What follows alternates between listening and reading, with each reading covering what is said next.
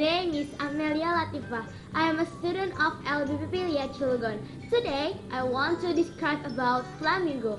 What does flamingo look like? Flamingo has long and thin legs.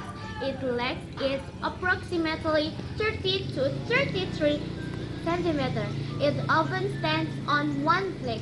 It stretches its leg when it looks for food in mud. It usually eats shrimp.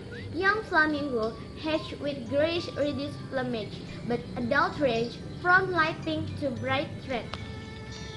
Flamingo is distinct animal because it only has six species, four flamingo species in America and two species in the old world. That's all a description about flamingo. By the way, if you want to learn English in fun ways, you should join Lia. I myself have fun experience during learning English in Lia.